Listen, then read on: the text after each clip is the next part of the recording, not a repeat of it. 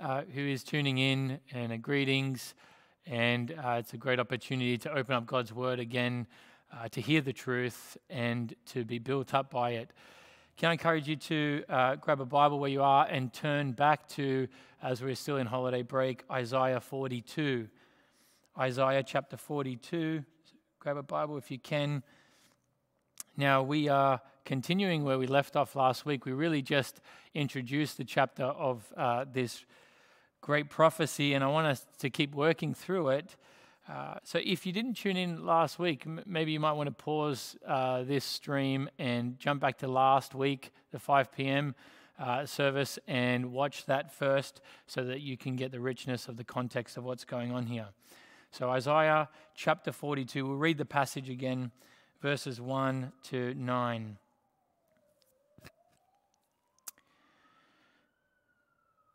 Isaiah 42. Here is my servant whom I uphold, my chosen one in whom I delight. I will put my spirit on him, and he will bring justice to the nations. He will not shout or cry out, or raise his voice in the streets. A bruised reed he will not break and a smoldering wick he will not snuff out. In faithfulness he will bring forth justice. He will not falter or be discouraged till he establishes justice on earth. In his law the islands will put their hope. This is what God the Lord says He who created the heavens and stretched them out, who spread out the earth and all that comes out of it, who gives breath to its people and life to those who walk on it. I, the Lord, have called you in righteousness. I will take hold of your hand. I will keep you and will make you to be a covenant for the people and a light for the Gentiles, to open eyes that are blind, to free captives from prison, and to release from the dungeon those who sit in darkness. I am the Lord, that is my name. I will not give my glory to another or my praise to idols. See, the former things have taken place, and new things I declare. Before they spring into being, I announce them to you. Join me as I pray. Our Father, we thank you again for another opportunity to open up your word. And we thank you for this great privilege that you've given us. Lord, we thank you for the gift of technology and the opportunities that you provide. And yet, Lord, in all of this, our hearts are still saddened, and it's still difficult times, Lord, uh, where we can't be together and we can't meet. And you know it all together, Lord. Pray that you might be pleased, Lord, to accommodate to our situation. You know all things, and I pray you may speak to us through your word. We need to hear from you, Lord. We need the truth that is able to renew us and transform us in our minds, in our lives. Sanctify us by your truth. Your word is truth. Lord, uh, as one Puritan said, uh, may I fire the bow, but may you direct the arrows in between the gaps of the armor. And Lord, you are able to break the hardest of hearts. You are able to bring down the walls that we set up. And you are able to encourage those who seem to find no encouragement. Lord, may you be with us. May your spirit be attending the preaching of your word. And may your son be exalted. May he be delighted in what happens in the preaching and hearing and receiving of your word. Lord, we pray all of these things and ask for your help because we desperately need it. And we ask it in the name of our Lord Jesus Christ. Amen. Well, we're back in Isaiah 42, and in Isaiah's day, the world was in crisis. There was trouble, there were superpowers, there were dangers on every side. The world was in crisis, Israel was in crisis with exile. And what did Israel do? They turned to idols. What did the nations do when trouble and worries came? They turned to idols. So the context of chapter 42 was 41 where the people turned to idols and God denounces the idols for what they are. This is what people always do when crisis hits. This is what people always do when there is trouble. We mentioned last week uh, when 9 11 happened and the planes went into the building, it says that the churches in America were filled after that event, that there was a revival in religion people, when there is crisis, they turn and look for help in all kinds of directions, in all sorts of things. But here in Isaiah 42, God directs the attention of his people and says, Behold my servant. He calls to the nations, Behold my servant. He was going to do something in the coming days, and he wanted to turn people's attention to something else, to someone else. And we saw that this was the Lord Jesus Christ. And the first four verses that we saw last week, if I can recap in 30 seconds, we saw uh, what God said his servant, when he arrives, will not do. And so, what he would not do is he would not crush the weak. He would not trample those who are struggling and who are broken. He would not cast them aside. He would be gentle and humble. He would be meek and he would be a lifter of the lowly. And then we saw what the servant would do. And, and Isaiah gave a really broad portrait of that, establishing justice on the earth, bringing about justice and the truth of the gospel to every part of the world. He gave us a broad lens view of what the Savior would accomplish. But here in the rest of this prophecy, he zeroes in. So we get to see a little bit more of how this great success comes about. So we're going to jump in from verse 5. So, firstly, I want us uh, to consider, first point this evening, the reliability of the promise maker. The reliability of the promise maker. So, in verses 1 to 4, God was speaking about his servant. He was talking about the servant that he would send. Now, in verses 5 to 7, God speaks to his servant. This is a, a conversation in heaven that is recorded and announced through Isaiah's lips.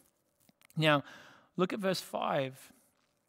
This is what God the Lord says He who created the heavens and stretched them out, who spread out the earth and all that comes out of it, who gives breath to its people and life to those who walk on it.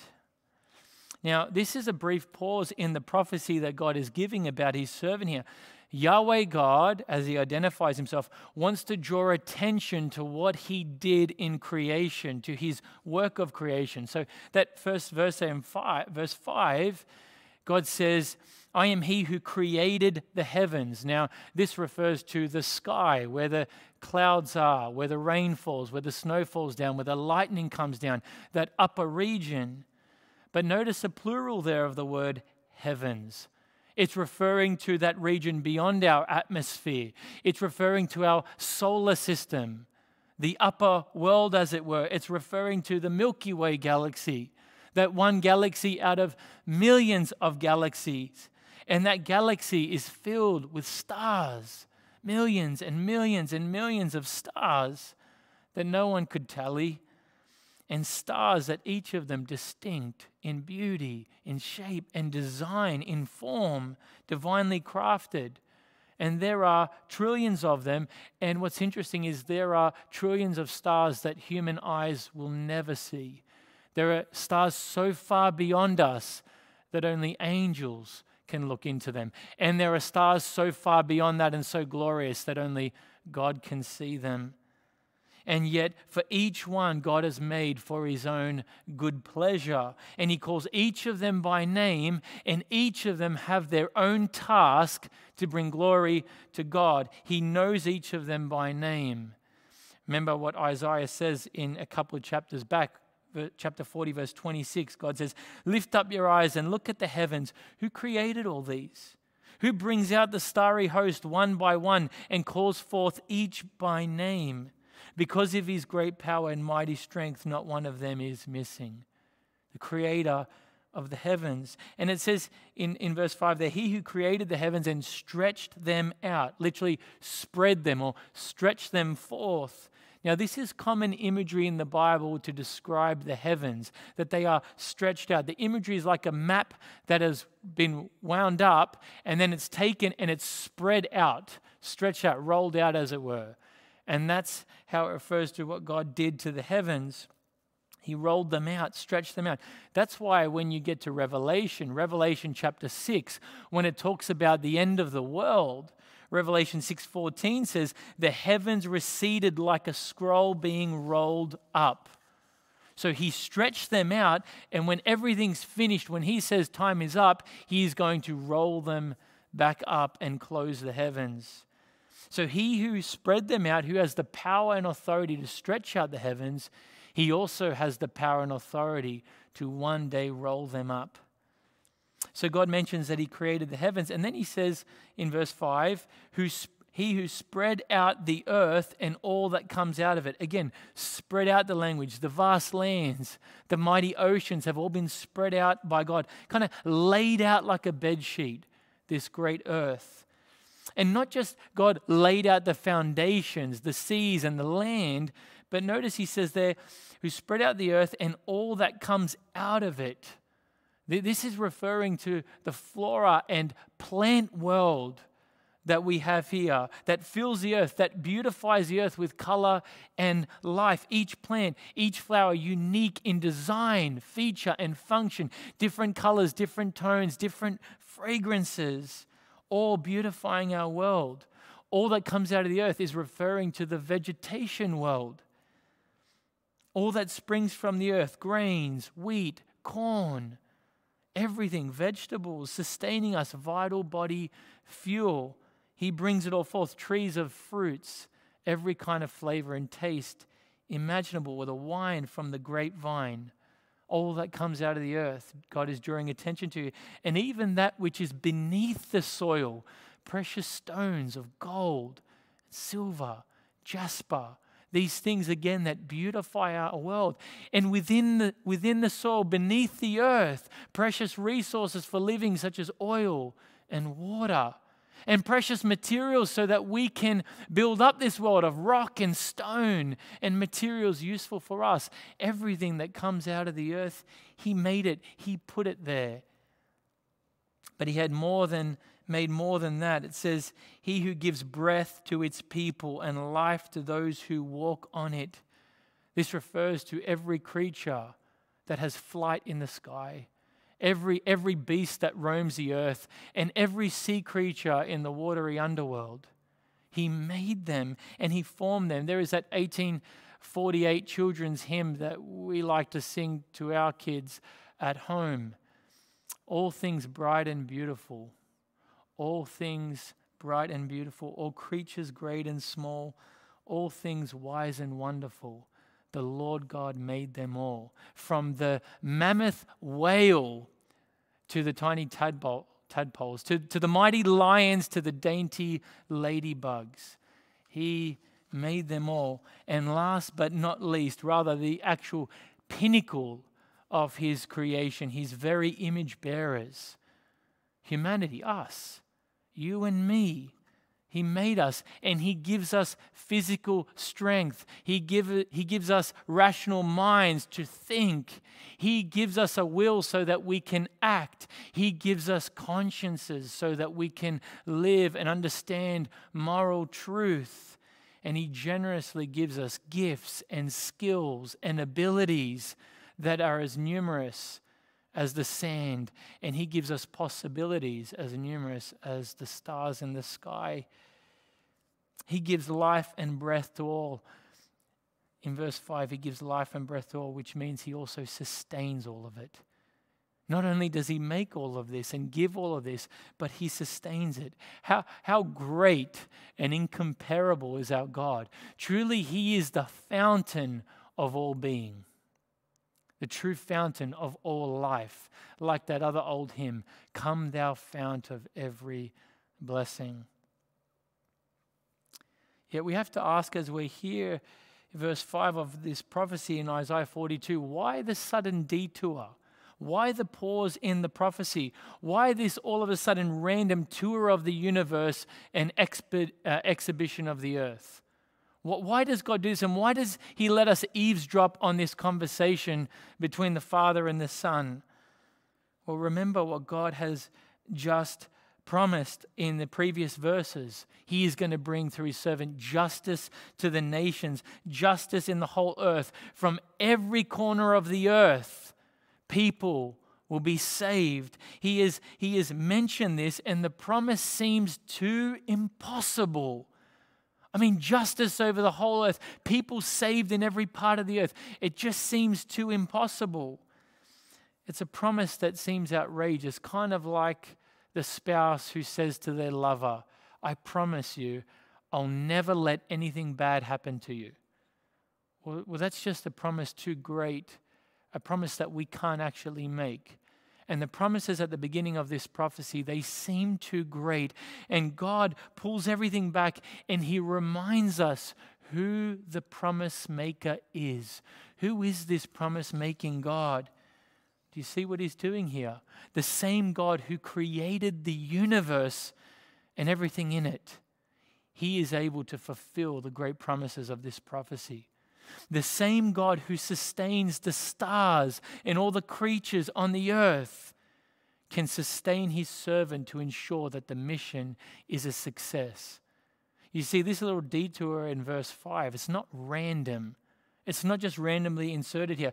It is to remind us who this promise making God is so that we can have faith in the promises that he has made here of what he would do in his son. So, first, here we see the reliability of the promise maker.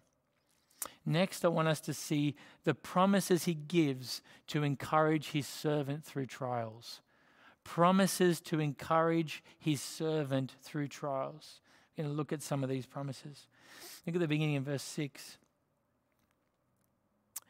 I have called uh, sorry, I, the Lord, have called you in righteousness. I will take hold of your hand. I will keep you. Now, again, don't be mistaken. God the Father is speaking directly to his Son here. He's speaking to Jesus.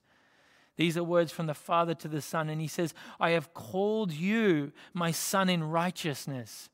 God, who is righteous, has called his Son for a mission in righteousness. And so the gospel, the gospel of Jesus Christ demonstrates the very righteousness of God. What does Romans 1:16 tell us?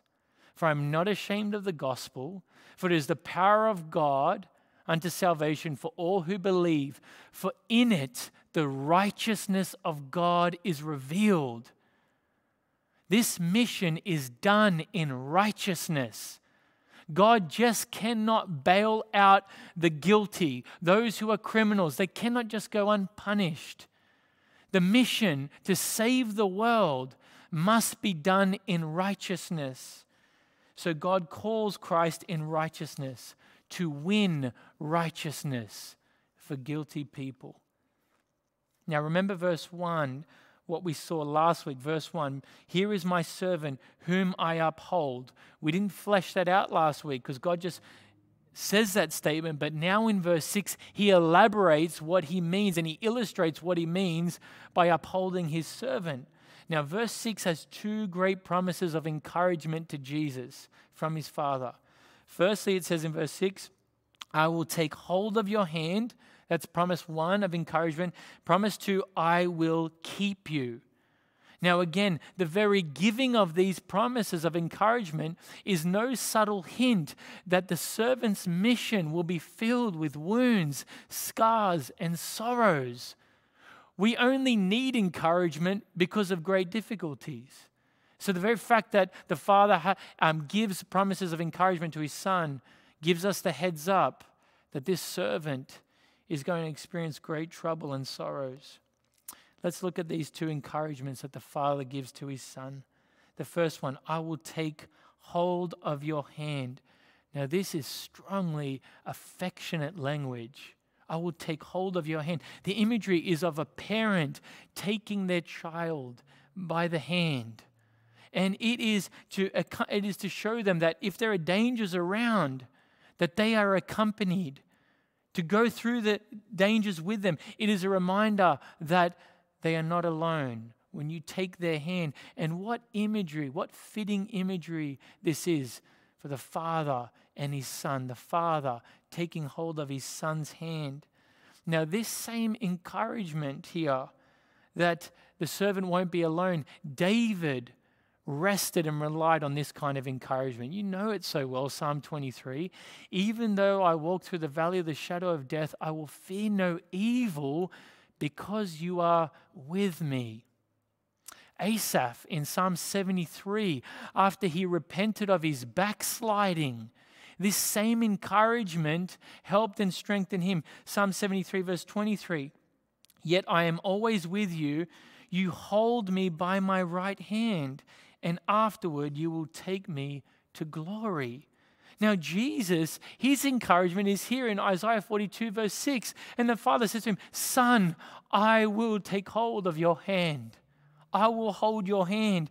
Jesus would need this. It reminds us of his humanity. He would face opposition at every turn. He would be assaulted, conspired against, hunted against. Satan would attack him. The Jews would attack him. They would oppose him always, the leaders at every turn. And Satan, even after that incredible temptation in the wilderness, what does Luke chapter 4 tell us at the end of that temptation? It said, after tempting him with these things, Satan left him and waited for another opportune time.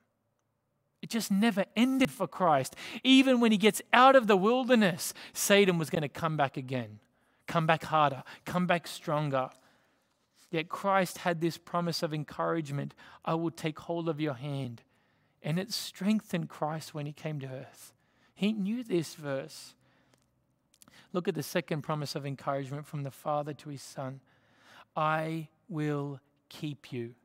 Now, this is protective language. This is really protective language. Have you ever witnessed uh, two children talking together, two young ones talking together, and one of the children takes one of his possessions, a toy or something special, gives it to the other child, and says, Here, take this, keep it safe, and whatever you do, don't lose it.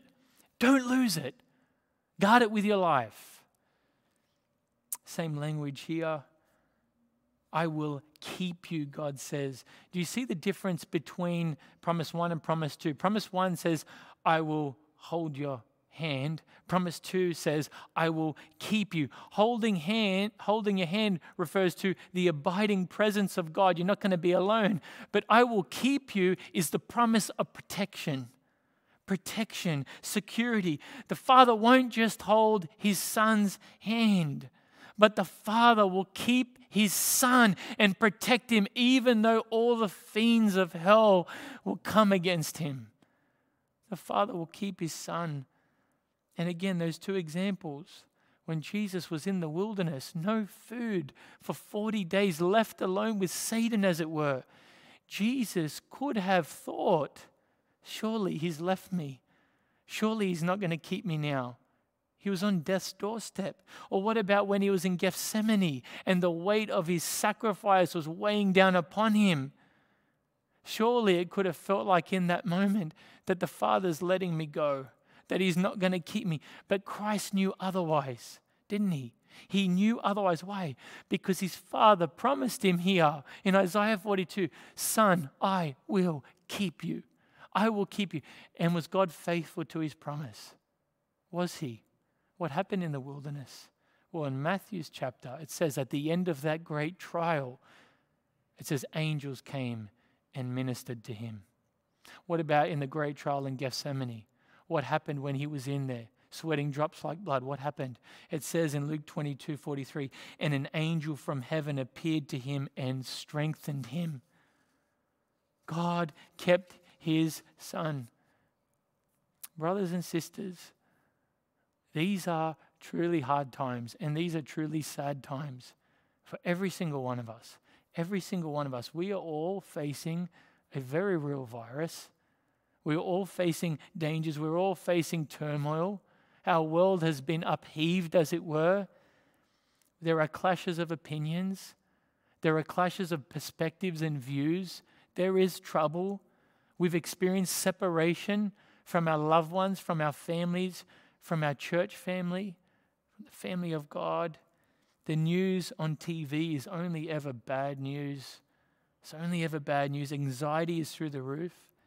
Some of us are facing unemployment. Some are facing real marital strain. There are work pressures. And now, with our new circumstances, we face new temptations, or perhaps for some of us, old temptations that are reinvigorated. This is a lonely time for widows and widowers. It's a lonely time for single people. These are tough times for leaders, for elders, for pastors. Never forget, we are flesh and blood just like you. These are tough times. This is a tough time and a tough world to bring children into. Some of you who have very young children, this is a difficult world to bring children into. These are probably the hardest times any of us have ever lived through. For most of us, anyway. But then we read these words in Isaiah 42 I will take hold of your hand and I will keep you. And these words, this promise, these promises, they don't just come from the lips of anyone. They come from the lips who him who created the universe, the heavens, and all the stars that fill it. These promises come from the lips of him who created the earth and all that comes out of it. These words come from the lips of him who so loved the world he gave his only son so that we would not perish but have eternal life. What we're facing, there are thorns and briars on every single side every single side. But the same promises that sustain Christ through his trials are the same promises that can sustain us through these trials. I hope you receive God's word for you tonight. Receive these words from him. Well, firstly, we have seen the reliability of the promise maker. Secondly, we saw the promises to encourage his servant through trials. Next, I want us to see the promises of triumph over sin. Promises of triumph over sin.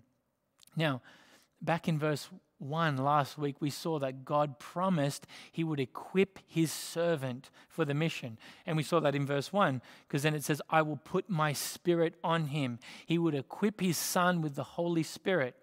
Now, in verses 6 to 7, God zeroes in on what that equipping with the Spirit looks like.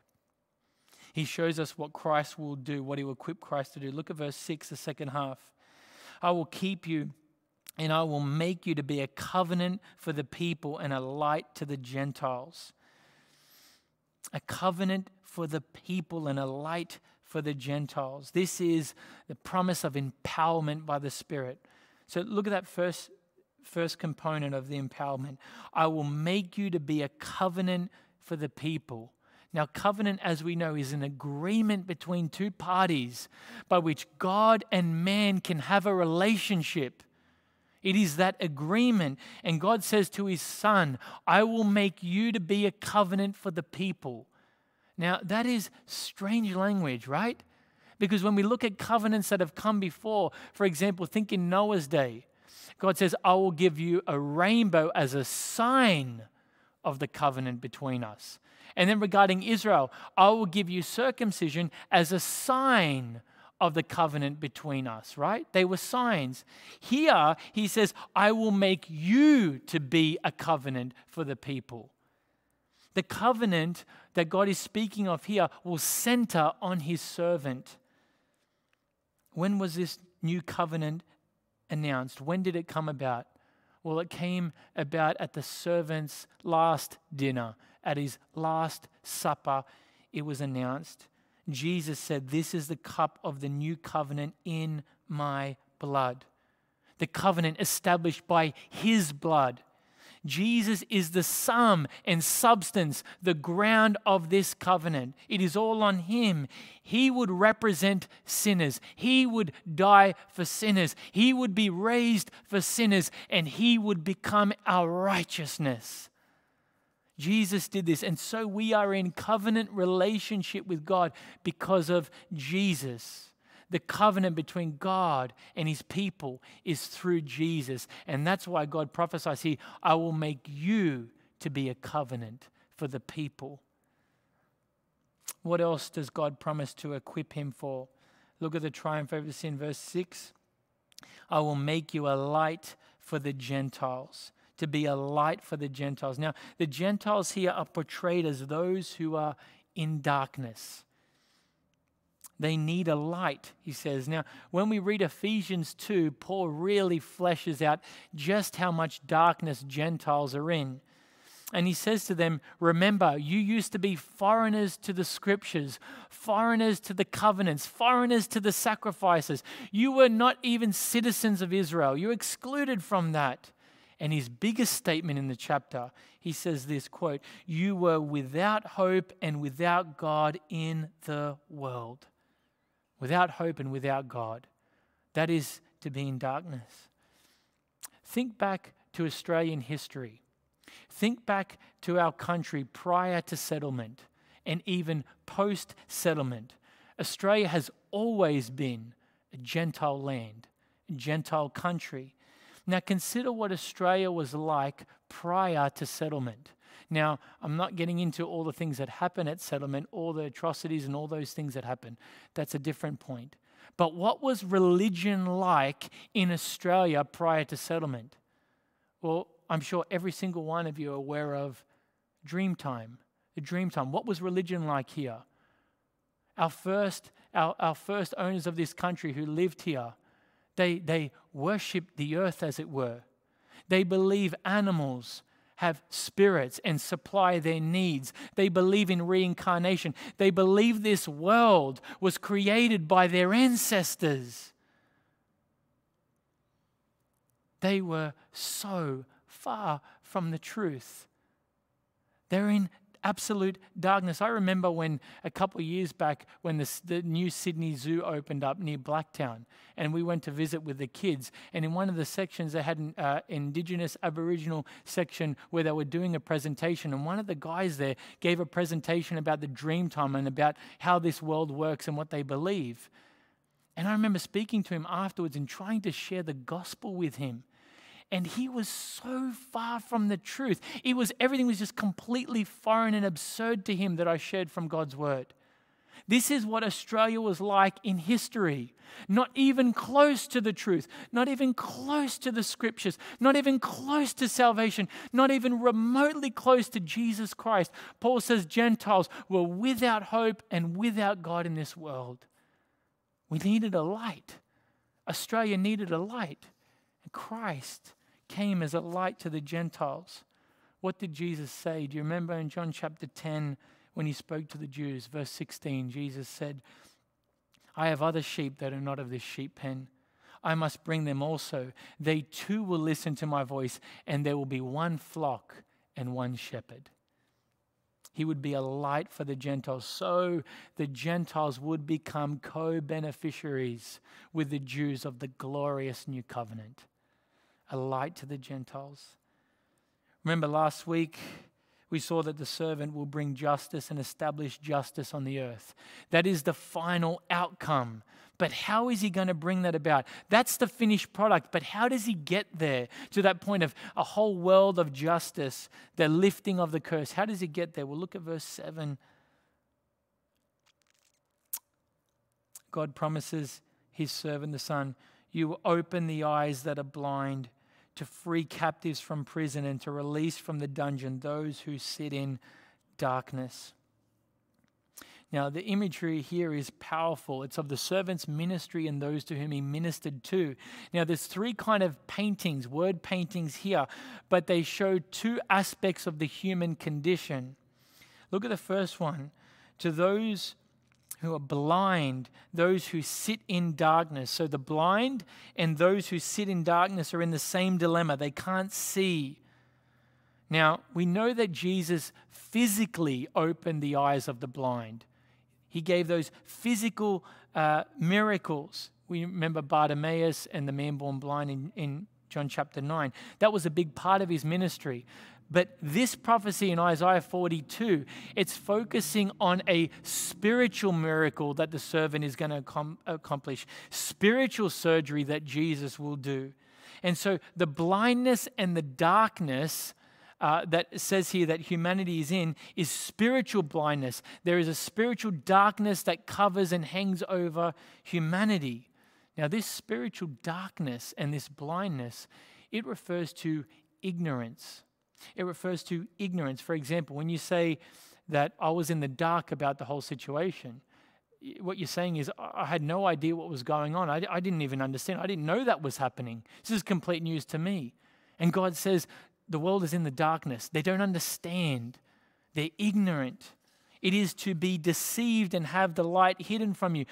And this is because the world is filled with the lie. With the lie. Revelation 12:9 says, "So the great dragon was thrown down, the ancient serpent who is called the devil and Satan, the one who deceives the world." The world. Now, the irony of deception is those who are deceived don't know they're deceived. They think they know the truth, and that's the deception. They don't know that they're deceived. 2 Corinthians 4 4 Satan, the God of this age, has blinded the minds of unbelievers so they cannot see the light of the gospel. They're in darkness. So God says here, the world is in darkness, they are blind. How is humanity blind? How are they ignorant? How don't they see? Well, they're blind on three fronts. Three fronts. Firstly, they're blind to who God is, who the one true God is the Father, the Son, and the Holy Spirit. Who He is, that He is the Creator alone, that there is only one God, that He is self sufficient, that He is absolutely holy, and that He's going to judge the earth. They're blind to that truth. Secondly, they're blind to who we are. We are blind to our own identity. We are indoctrinated with the lie that we are basically good, that we have the ability within ourselves to choose whether or not we will go down an evil path or a good path. The power is ours. We are capable of both. That goodness resides in us. We are blind to who we are, and we are blind to the way of salvation. Again, we have been indoctrinated with the lie that all roads lead to Rome. As long as you're sincere, whatever you believe, it'll work out. It is true. We're blind to the way of salvation. We hear it all the time. We're all getting to heaven, except probably for Hitler.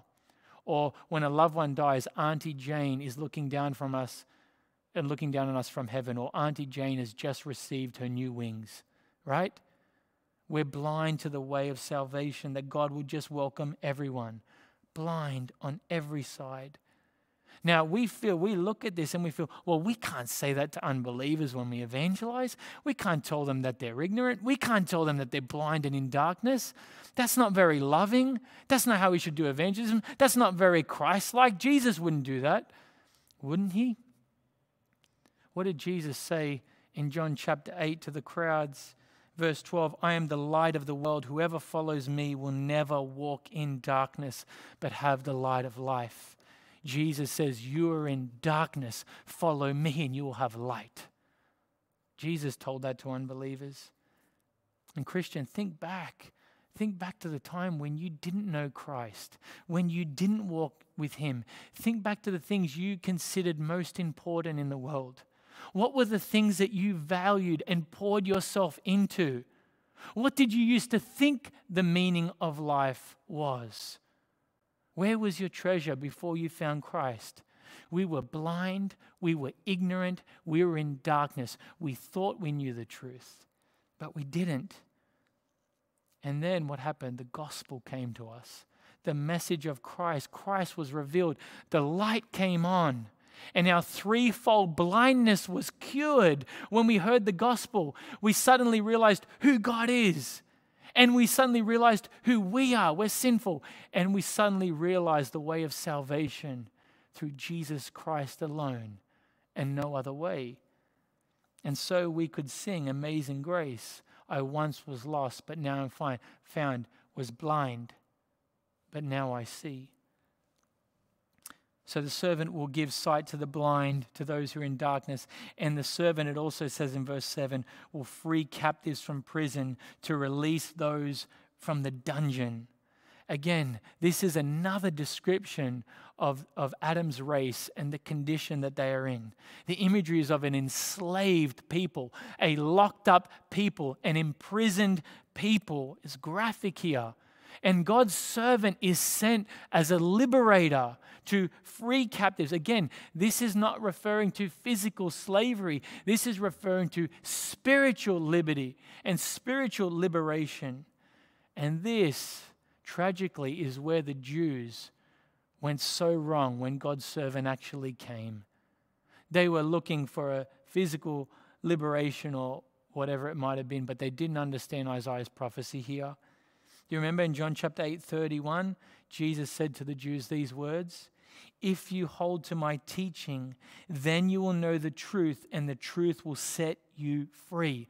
That is liberation language. Jesus is claiming to be a liberator of captives here. Well, how do the Jews respond to him? Verse 33, they say to him, We have never been slaves of anyone. How can you say we shall be set free? What are they doing? They're denying that they are prisoners, they are denying that they're in shackles. That's why they are blind, ignorant, they don't see it. How does Jesus respond? He makes it very clear, verse 34 I tell you the truth, everyone who sins is a slave to sin. You see, unbelievers not only find pleasure in sin, but they are also mastered by it. They are enslaved to sin. They think they're free because they do whatever they want, but what they do is held in bondage to the pull of sin. They are in slavery. They prefer self and disobedience over worship and obedience to Christ. So, God's mission for his servant is to free people from the binding chains of sin. Now, hear this very clearly. His mission wasn't just to take care of the guilt of sin that humanity has. Yes, Jesus Christ came to take care of our guilt. He died as a substitute to pay the penalty we could not pay, and He pays the price so that our sin the guilt of it is removed so that we're no longer guilty before God. That was part of his mission. But he didn't just come to take care of our guilt, he came to rid the power of sin in our lives, the power of it to release the prisoners and the captives. Now, if you're watching, you who are enslaved to sin, you who cannot shake the grip of sinful habits, you who are addicted to sin, you who are in chains of sinful habits and behavior, that what is that which is perverse. Christ came to liberate. Do not listen to foolish preachers who say things like, you're just going to have to live with that sin for the rest of your life. That's just how it is. They do not realize that they blaspheme and insult Jesus Christ. He is either liberator and deliverer from sin and its power over our lives, or he's not. These are either promises of truth for liberation from the power and slavery of sin, or they're mere fables. He came to liberate us from the power of sin over our lives. And God has promised his servant to be able to set the prisoners free. If this is you, have faith in Christ.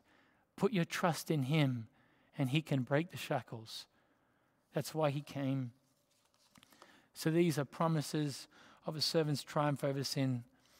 Well, just lastly and quickly, the promises should lead to worship. These promises should lead to worship, and we will finish up here.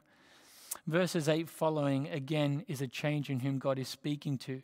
He was just speaking directly to his servant. Now God speaks and turns to the nations. Look at verse 8. I am the Lord, that is my name. I will not give my glory to another or my praise to idols. He reminds them of who his name is. Why is he doing this? Remember, the context is Israel and the nations are in idolatry, and God wants to distinguish himself and separate himself from all the false gods. He hates it when humanity seeks hope in false gods. He hates it when humanity worships false gods. He hates it when we give praise to idols and other things. And that's why he says this because there is hope in no one else. No one else is worthy of worship, and He alone is praiseworthy. And so God separates Himself and distinguishes Himself Look at verse 9, how he shows his supremacy. See, the former things have taken place, and new things I declare before they spring into being. I announce them to you. God points back to the former things. What are these former things? That have come to pass. The prophecies in the previous part of the book of Isaiah. God promised that Babylon would, would bring them into exile, and it happened. It came to pass. God promised that Cyrus would come and he would liberate Israel from their exile. And it came to pass. What's God doing? He's having a showdown with the false gods just like what he did with Elijah and the prophets of Baal. This is a showdown between Yahweh and the false gods. Idols do not talk, but God speaks, and when he speaks, things come to pass. This is a call to repent of idolatry, to sever all marriage bonds with idols, and to believe on Yahweh God. And look how he shows the contest will be shown to be no contest at all. Verse 9 and new things I declare before they spring into being. I announce them to you. See, new things, there are greater things to come, and I'm going to tell you before they come to pass. What are these new things? What's the prophecy here in Isaiah 42? That he's going to send a servant who will liberate the world, who will save Gentiles as well. Gentiles will come and worship on his holy hill, just like Jews will, and he'll establish justice. God is making a decree that a new exodus is coming, a far greater exodus from slavery is coming. And God says, before there are any signs of this deliverance, I'm announcing it now. I'm announcing it now. And so, this is what makes the prophecy so extraordinary. Israel's at an all time low. The world is at an all time low. There is so much darkness in Isaiah's day. And yet, this announcement comes that salvation and liberation and, and hope is coming. And so, centuries later, after God announces it, in a little town of Bethlehem, a servant is born. His own son comes who will defeat death leave a mortal wound in the ancient serpent, and he will set sinners free. And so when you read Isaiah 42, it's so accurate. It's almost as if this prophecy in Isaiah 42 was written after Jesus' resurrection. And thus, God gets the glory as the one and only true God who tells the end from the beginning. Let me close. Isaiah 42 is the prophecy of the glorious mission of salvation by grace alone. What's the fitting response to God and his servant? What is the fitting response to so great a salvation? Well, I've got good news for you. You don't have to work it out. You don't have to try and come to the answer yourself. Look at verse 10. Sing to the Lord a new song, his praise from the ends of the earth. You who go down to the sea and all that is in it, you islands and all who live in them. God wants people from every corner of the earth, from every country, every nation. He wants them to sing to Him, and He wants them to sing to Him a new song. God was doing a new thing. God was bringing in a new covenant. God was creating a new people. And therefore, it's only fitting that a new song should be sung unto Him. And the new song is to be from every tribe and language. What do we read at the end of our Bible? What do we read in that heavenly choir in the book of Revelation?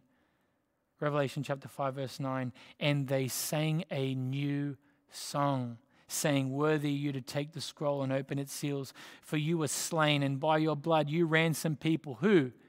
People from every tribe, language, people, and nation. You've made them to be a kingdom of priests to serve God, and they shall reign on the earth. That song answers every single dimension of the prophecy in Isaiah 42.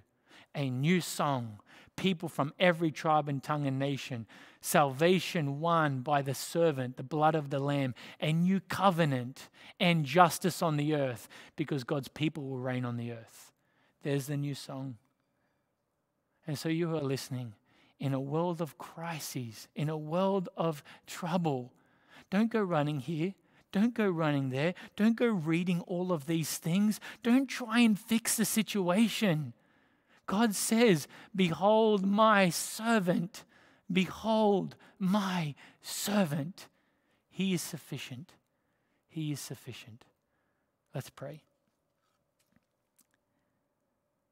Lord, as we consider this great prophecy, truly the only right response is to sing a new song, a song about your grace, a song about the greater exodus that Christ won, a song about a new people created, people of every background, every tribe and tongue, people from every part of the earth made into one family. Oh God, I pray as we move forward that this song would be on our lips. The song of salvation by grace alone, through Christ Jesus alone, and by faith, not of works, lest any man should boast.